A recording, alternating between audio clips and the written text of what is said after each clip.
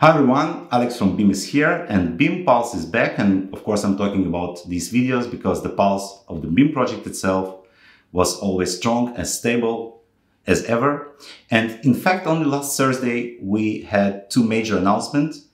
One about the release of the Fierce Fermion 6.0 version of Beam, Beam blockchain, which is the hard fork version.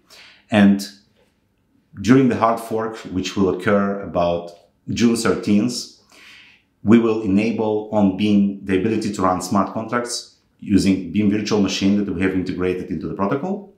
And of course, it's a big deal and opens a lot of new interesting possibilities for creating DeFi applications on Beam. And we will talk more about that. And also we have announced our plans to move our governance from Beam Foundation to the DAO structure.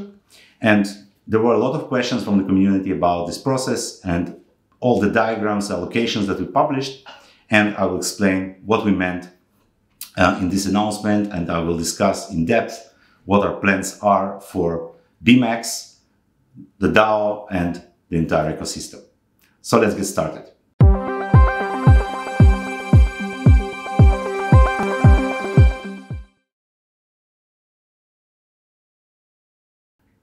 So let's get started with the Beam 6.0, which as I mentioned is a hard fork version, which means that all of you need to download the new binaries from a website and upgrade before the hard fork date, which is approximately on June 13th at the height of 1,280,000.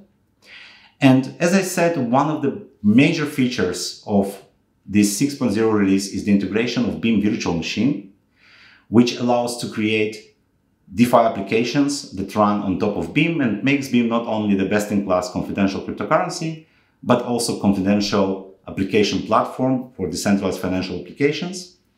And in future videos, we will show and talk about uh, all of these features in depth, but it's very important step for us because uh, right now, in addition to the transactions that you make, confidential transactions, you will also be able to trade your assets confidentially. And we're talking about a possibility to create vast variety of applications, including stable coins and AMM pools and lending platforms. And all of that, of course, will be integrated beautifully into our wallet using our decentralized application store built into the wallet.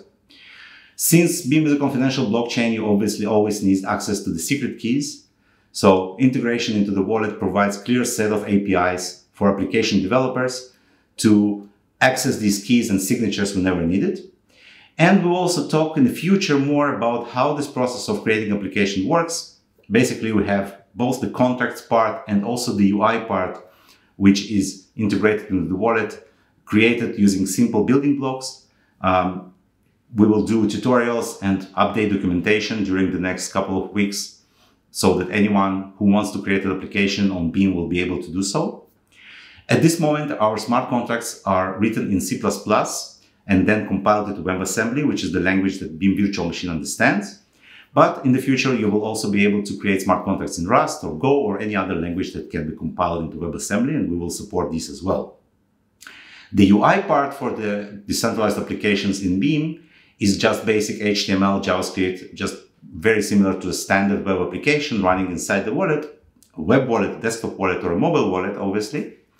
And it can be created and modified very easily using application shaders, which is kind of the helper objects that allow you to create transactions, complicated transactions that require a lot of signatures much more easier and thus making the development of applications much simpler than just doing everything by hand.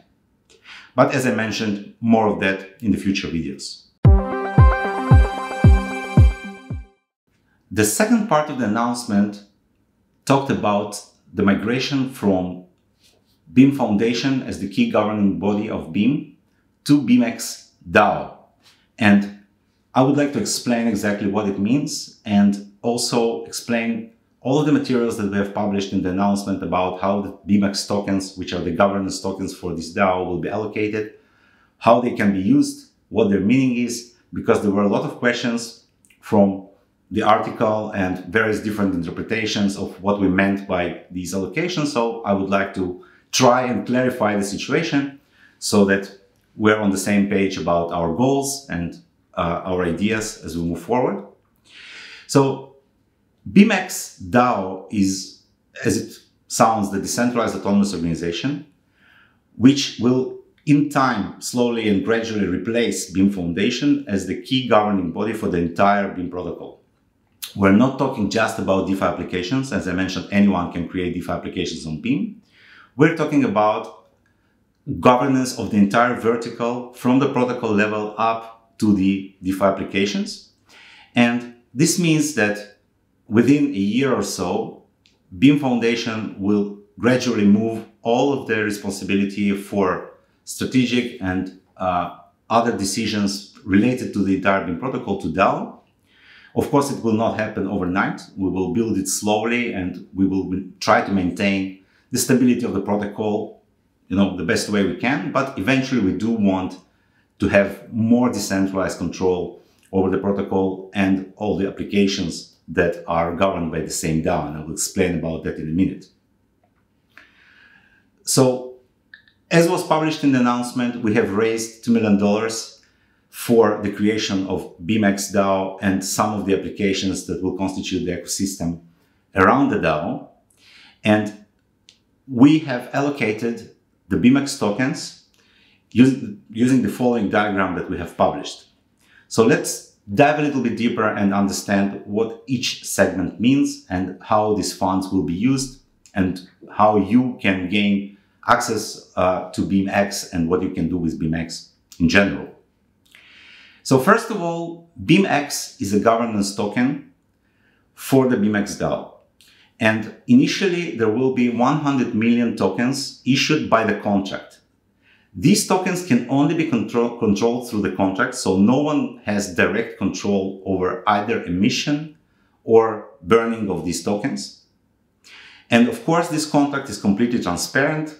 The code is open and you can easily verify that this is indeed the code that manages these tokens. So first of all, there is an allocation for investors of 20% and it's divided into two rounds. The first round was closed now of 2 million, as we mentioned. The second round will probably be done through the DAO and will bring more funds in the future with much higher valuation when the DAO is operational and we have the first applications and hopefully some traction. But this entire slice is going to direct investors who bring some funds into BeamX DAO and get their share of BeamX tokens in return. The second part I would like to talk about is the development fund, probably one of the most misunderstood slices in that pie. The development fund does not go to the developers or the team that is building this DAO. It goes to the ecosystem developers that will cooperate with the DAO in creating more applications and improvements for this DAO. So the DAO decides how to distribute these funds and who is going to develop which applications or which improvements for the DAO. So this part of the pie is locked until the decision to release some part of these BeamX tokens to the developer that was chosen for a specific task is actually accepted by the DAO during the voting process. And we will talk about how that works in a minute. The third part is the ecosystem partners. The ecosystem partners are organizations that help BeamX DAO uh, gain traction, marketing, etc. And part of these will be distributed by the foundation and part of these funds will probably be distributed directly by the DAO going forward. The other part, which is liquidity providers, this is the part for the community and everyone who participates in providing liquidity for the DAO or governance of the DAO will be incentivized using these tokens and these tokens will allow you to contribute back by participating in the voting process that I will describe in a minute and governing the DAO. So all these 36% are going to be distributed over four years to the community to kind of create incentive for participating in DAO governance and also, of course, interest in gaining those tokens and potentially they might have price in the future. So these are the key allocations that we have in this pie.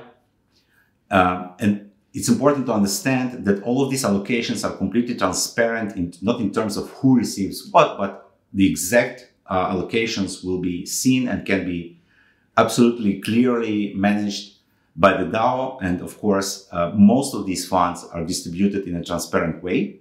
So there are no like secret allocations whatsoever.